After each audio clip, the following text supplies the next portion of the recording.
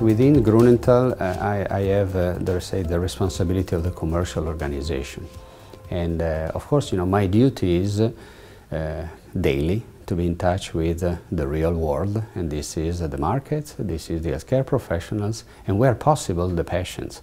So my duty is to ensure that within the company we import what are the real experiences in the countries to ensure that whenever we try to here to develop a new drug or a new service or a new activity, we provide something that is really relevant to the, to the patients. So my personal commitment into, the, into this field is to ensure that here in the company we know the truth rather than going for speculation uh, coming from uh, internal brainstormings. We try as much as we can to include uh, patients in this kind of process of info gathering. When we talk about uh, pain, as I said, is not a traditional disease and therefore the implications are very different. And so the patients are of course the most relevant part because at the end they are the ones benefiting from our activities and our products. But uh, what is definitely needed in Europe is uh, to engage more other stakeholders as well and uh, we use a lot the patient association to get uh, valuable inputs, but we definitely need to engage politicians, uh, let's say health authorities, uh, professionals, because this is where they can ensure that what we modestly as a pharmaceutical company we provide in terms of products and services really reach, uh, reaches the patients. And uh, I, I can give you one example there are, within Europe, there are countries where uh, the consumption of pain products uh, aiming to improve the quality of the lives uh, of the patients is uh, incredibly high. And uh, there is a country next to this one where the consumption is uh, close to nothing. And there is a mistreatment, there is an abuse of products which are not effective to manage pain. So I would say it's really what we call the, the multi-stakeholder challenge. I mean, we need to engage many, many people. I believe that uh, the only solution I see is uh, to bond closely with the patients. Because, you know, at the end of the day, the pharmaceutical companies, of course, are considered the one benefiting from a commercial point of view. And of course, that's not the ideal way when you want to speak up. But if then you are the one interpreting what is needed at the patient level, then you are in a different position.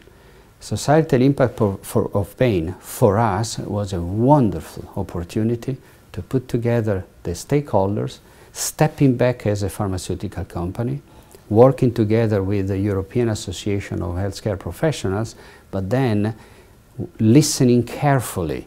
These people at the same table, uh, let's say, highlighting the issues, highlighting the challenges, and trying to find solutions. The fact that pain has been part of a European resolution at the uh, European Parliament has been an amazing achievement. And uh, I feel this is what we need to do. And uh, pharmaceutical companies alone do not have to do it. It would be a mistake. We need to engage all the key stakeholders. In my opinion, to be successful, the big difference would be that uh, in every single phase of the development of new drugs, uh, able to hit in the future the market, we should have these checkpoints that we do with the key stakeholders. And uh, key stakeholders, as I said, are patients, of course. These are the ones in charge of, let's say, the regulation of the system and the payers. So, you know, in engaging all these stakeholders during the development of the product would definitely ease our life and uh, would uh, let's say, position the pharmaceutical companies in a way that when we finally hit the market with a new product, we have all the key stakeholders engaged and we know that the answer is the right one. This is what I strongly believe in. In the last years, we have tried to engage patients and to get their inputs, and we did a pretty decent job. But I believe that uh, uh, what is absolutely fundamental now is that uh, the voice of the patients alone is not sufficient. The voice of the pharmaceutical company is not sufficient. We have to find a good balance where through the key, st key stakeholders we are in the position to explain that improving the quality of the life of a patient is not just about uh, reducing pain or improving or eliminating a disease, but it's about having higher quality of life, social life. This is what sometimes is not considered. We are in the position where patients uh, take uh, pain products and uh, these pain products, of course, they improve their ability to manage their pain, but they are still patients not able to work.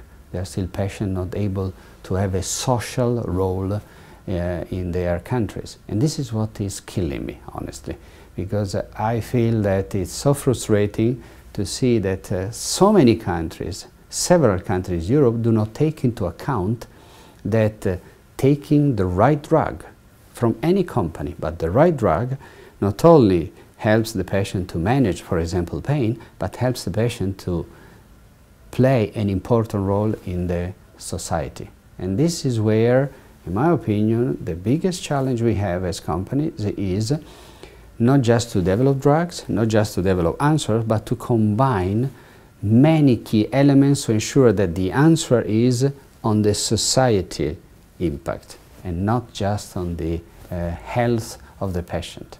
My dream is in five years from now, in 10 years from now, to have a drug that will prove that the patient is happy, healthcare professionals are happy, regulation authorities are happy, and payers are happy. Because at the end of the day, sticking to our business priority, patients will be able to work and to have an impact in their society. This is the biggest challenge we have.